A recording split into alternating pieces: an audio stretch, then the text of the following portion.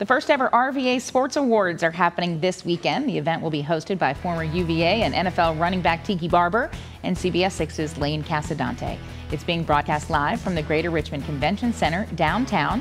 Join us tomorrow when the best athletes, teams, coaches in the metro area are recognized and honored. The awards special airs from 7:30 to 9 p.m. here on CBS 6 tomorrow.